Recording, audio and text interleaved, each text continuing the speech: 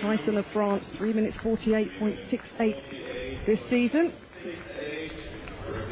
He's the fastest man in the field.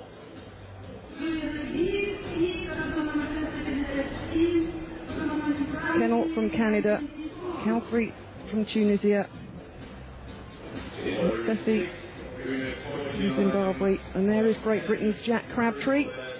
3 minutes 49.10 seconds. He enters this on paper the second fastest in the field. Very closely matched on time this year with Liam Dee, who we saw in the first heat for Great Britain. USA's Blake Haney. Abdul Wahba from Sudan. And Solozano from El Salvador completes the lineup. Heat number two of three then, boys, 1500 metres.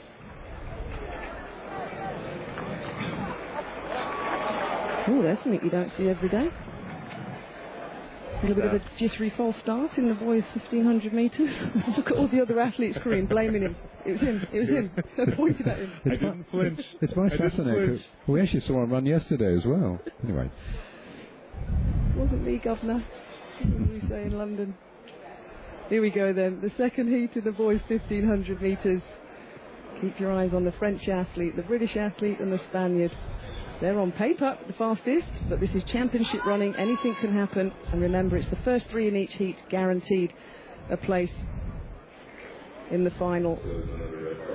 So no red card is raised, which means he doesn't lose his place in this second heat, but he gets a warning. Do it again, young man. You will be in trouble. Here we go. So away for the second time of asking in this boys' 1500 metres.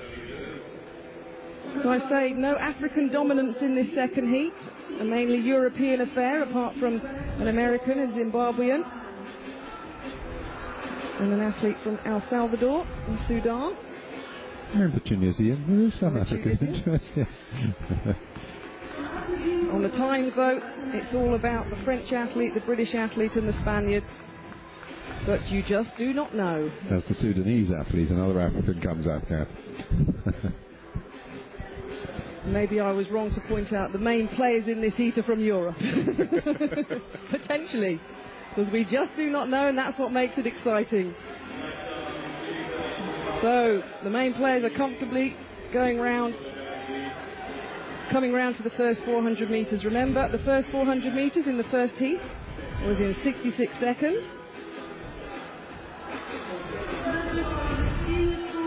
So 61.70 seconds from nearly five seconds faster than the first heat. And already we can see, Peter, the difference in this heat. We're strung out already with only 400 metres gone. Yes, well, certainly if they've uh, taken note of the times of the first race and they realise there are fastest loser spots up there as well, this is quite sensible. But also we've got some quite uninhibited running by two Africans who are in the lead in this race. Ahead of the fancied Europeans just at this early stage, but it is early stage, and the, the top names are certainly in there. Crabtree of Britain just tucking in behind them, with the Spaniard just on the outside, and also Tisson of France uh, prominently placed. They'll just be slowing up a little bit now, and I think the top players must be a bit cautious of allowing the uh, athletes who they think they've set off at a good pace, but then it can slow down, and you can be a bit caught out. Exactly, which is why what you come into a major championship with in terms of performance gets thrown out the window in many occasions because it's different when you come to a championships, especially middle and long distance races. The sprints, it's outright speed, the fastest always go through, but not in the tactical middle and long distance races. So 20514, so uh, although it did slow a bit to 63, it's still way ahead of what the times were in Heat 1. So Abdul Wahba from Sudan, he currently has the lead from the USA's Blake Haney. Well, Haney's got some good pedigree as well. I mean, he won the US trials and just uh, 350 times, so uh, he certainly would also fancy his chances. Jack Crabtree of Great Britain and Northern Ireland comes onto the shoulder of the American. And the Spaniard, Jesus Ramos, is trying to position himself into a good position to potentially attack.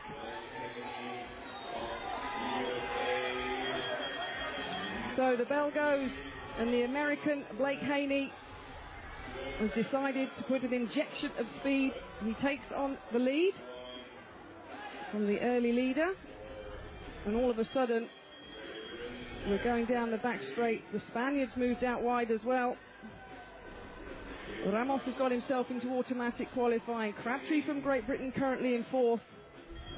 But it's the American who's going to lead with 200 metres to go. It's America, Spain. Remember, just the first three in each of these heats automatically qualify, and the American Haney is looking very comfortable indeed. The Spaniard Jesus Ramos is in a good position and looking over his shoulder. Number 357, Tyson from France. So Sudan run out of it at the moment, as is Britain. They will have to wait, but 3 minutes 51.96.